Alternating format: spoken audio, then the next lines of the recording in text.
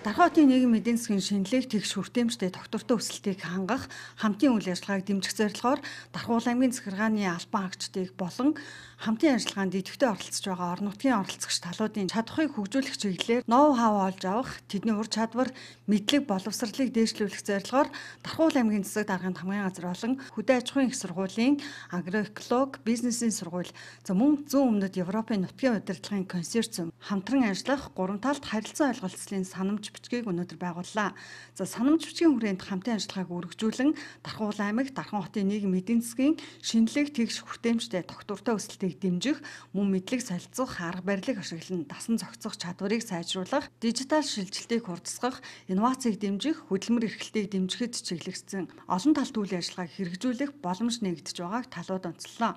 Санамж бичигт Дархуул аймгийн засаг даргын хамгийн газрыг төлөөлөн хамгийн газрын дарга хүрэлцүүлэн хөдөө аж ахуйн их сургуулийн агроэколог бизнесийн сургуулийн захирал бүрвээ Европын нутгийн удирдлагын консорциумыг төлөөлөн Монтенегро улсын Бар хотын дарга Дусан Ричевич нар гарын үсэг зурсан юм а.